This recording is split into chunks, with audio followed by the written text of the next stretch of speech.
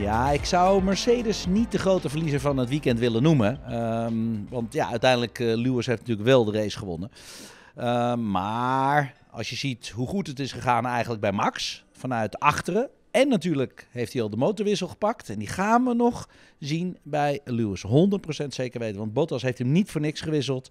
Dus ehm, ja, als je het zo heel hard zou zeggen, zou ik zeggen: je moet niet Mercedes de verliezer noemen. Nee, ik zou zeggen, je moet Red Bull de winnaars noemen.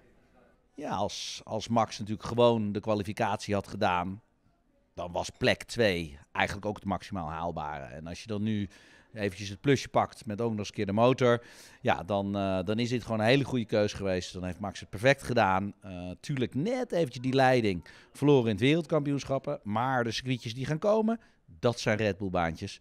Dus ehm, heel slim om dat nu te hebben gedaan. Ja. Norris heeft de grootste ballen van het paddock. Ja, ja, ja, ja, vind ik wel. Jong en wild. Ehm, en met veel kunde. En dat zagen we natuurlijk ook al in Spa tijdens de, tijdens de regenkwalificatie. Zat hij er ook al constant bij. Ja, ik vind dat hij het gewoon echt, echt gewoon, weet je, hij, hij piekt echt op de momenten dat hij het ook moet doen. Dus dat, dan, dan zie je gewoon, dit is een toekomstige wereldkampioen.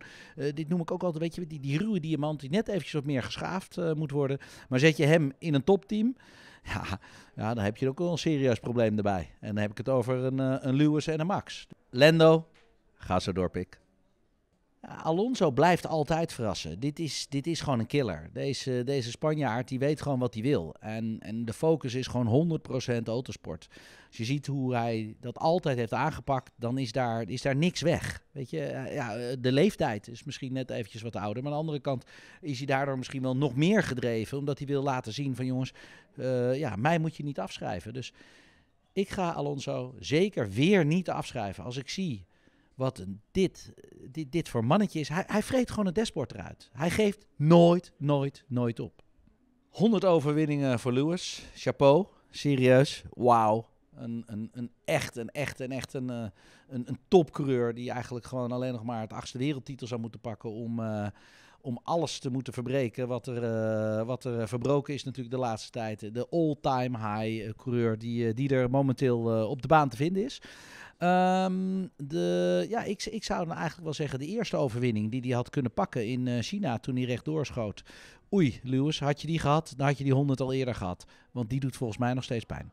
Als we het hebben over de circuits die er nu gaan aankomen, dan zou ik bijna zeggen: er is, er is niet echt meer een, een daadwerkelijk Mercedes-circuit zoals we Sochi en Monza zouden kunnen opnoemen.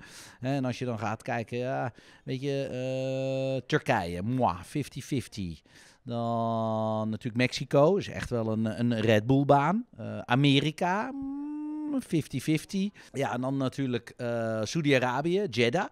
Wij zijn natuurlijk geweest met uh, Dakar. Die loopt langs de haven. Dat wordt een half stratencircuit-achtige baan. Wel speciaal gemaakt voor de Formule 1 nu. Ze zijn hem echt helemaal aan het asfalteren. Als je ziet hoeveel geld daar tegenaan wordt gesmeten, dan zeg je oké. Het is dus enden, maar dat klopt ook. Hè. De olie die spuit daar natuurlijk uit de grond.